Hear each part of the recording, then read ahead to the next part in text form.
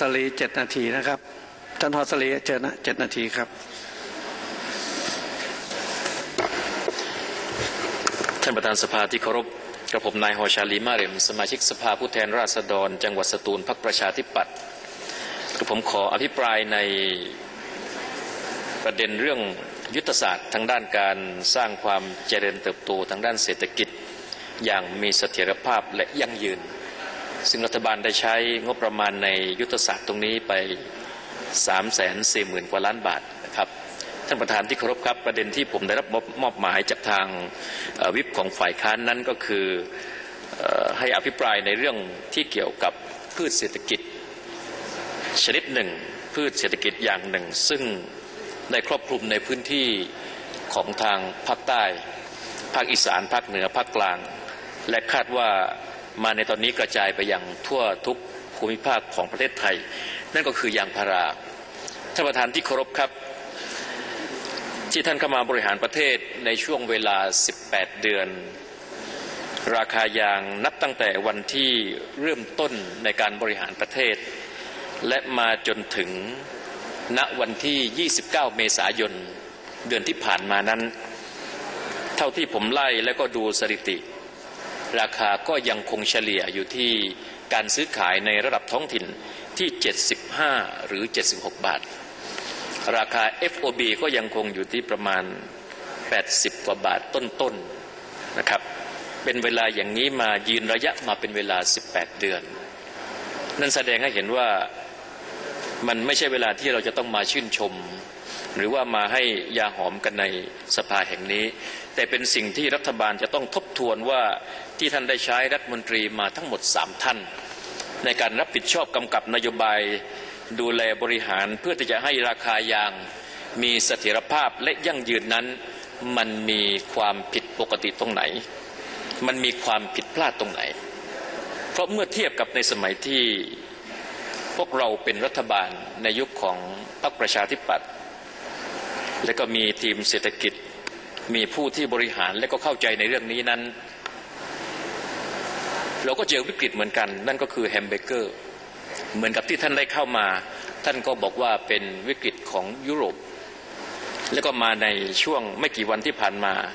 ท่านก็บอกว่าเป็นเรื่องของค่าเงินบาทที่แข็งตัวขึ้น ทุกคนต่างก็เจอวิกฤต แต่ทำไมในช่วงที่สมัยที่เราบริหารประเทศ ประชาธิปัตย์บริหารประเทศทำไมราคายางจากเริ่มต้น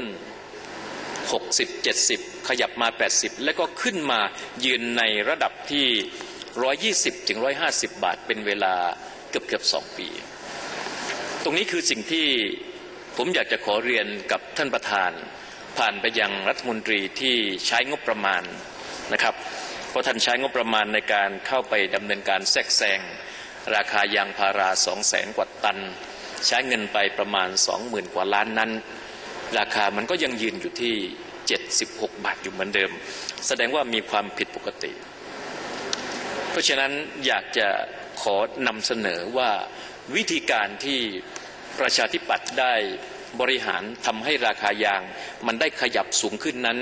มีข้อแตกต่างจากการใช้งบประมาณของท่านที่ทำมาในช่วง 18 เดือนอย่างไร ท่านประธานที่เคารพครับ ในช่วงที่เราบริหารในเรื่องของยางนั้น คุณกรเป็นรัฐมนตรีว่าการกระทรวงการคลังท่านสุเทพเทือกสุบรรณเป็นประธานคณะกรรมการนโยบายยางพาราแห่งชาติ สิ่งที่เราทำต่างจากรัฐบาลชุดนี้ นั่นก็คือการใช้งบประมาณของแผ่นดินให้น้อยที่สุด แต่อาศัยความร่วมมือและอาศัยกลไกของตลาด ทุกองค์กรไม่ว่าจะเป็นองค์กรองค์การสวนยาง พ่อค้าผู้ประกอบการเรื่องยางผู้ส่งออก และประเทศผู้ผลิตยางซึ่งอยู่ในอาเซียน ทุกฝ่ายเดินอยู่ในทิศทางเดียวกัน นั่นก็คือมีแนวทางเดียวกัน นั่นก็คือการสร้างสต็อกขึ้นมาในประเทศ ถ้าหากว่าราคาไม่ดีขึ้นเราไม่ยอมขาย นั่นคือนโยบายหลัก แต่ในช่วงที่ท่านเข้ามาบริหารประเทศสามเดือน ท่านก็ไปเจรจาขายยางในราคาที่คู่ค้าอย่างจีนก็หัวเราะนั่นคือร้อยสี่บาทแล้ว และมาในเดือนเมษา11 เมษาท่านก็ลง MOU กับจีนอีกครั้งหนึ่งในราคา 90 บาท แสดงเห็นแสดงให้เห็นว่าการการพูดคุยหรือว่าการเจรจาทางการค้ากับคู่ค้าอย่างนั้นเราไม่มีการพัฒนาตรงนี้ เพราะฉะนั้นอยากจะขอฝาก ไปยังท่านประธานถึงรัฐมนตรีผู้ที่ดูแลเกี่ยวข้องในเรื่องนี้ว่าสิ่งที่จะต้องเน้นจะต้องย้ำนั่นก็คือทำอย่างไรให้ให้ทุกฝ่ายเดินในทิศทางเดียวกัน เพราะที่ผ่านมาการแทรกแซงนั้นมีสองมาตรฐาน มาตรฐานที่หนึ่งก็คือท่านแทรกแซงในวงเงินสองหมื่นกว่าล้าน เฉพาะคนที่เป็นสมาชิก แต่อีกหลายส่วนที่ไม่ได้เป็นสมาชิกแต่เป็นผู้เกษตรกรชาว รายย่อยที่ผลิตอย่างนั้นไม่มีโอกาสที่จะได้ขายในราคา 101 บาท ที่ท่านไปแทรกแซงเพราะฉะนั้นจึงเปิดโอกาสและเปิดช่อง ให้พ่อค้าหัวใสไปกว้านซื้ออย่างจากคนที่ไม่ใช่สมาชิกในราคา 75 บาท ในพื้นที่มาขาย 101 บาท กินส่วนต่างไปตันละประมาณ 20,000 กว่าบาทหนึ่งคันรถสิบล้อก็ประมาณก็สี่ห้าแสนอยู่ นั่นคือคือกำไรที่ที่เป็นเป็นโอกาสที่นโยบายที่มันเกิดความผิดพลาด และยังมีบางส่วนก็ไปประมูลยางที่ตลาดยางราคา 80 แล้วก็มาขายท่านใน